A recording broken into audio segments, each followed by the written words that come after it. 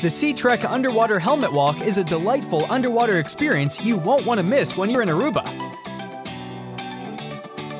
Participants wear specially designed helmets and walk along a custom walkway with an up-close view of Aruba's marine life.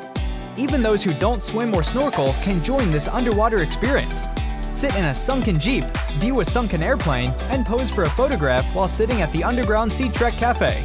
You'll also see amazing underwater creatures and colorful tropical fish. Sea Trek is exclusively available as an upgrade on De Palm Island. An experience you won't want to miss. Book now on depalmisland.com.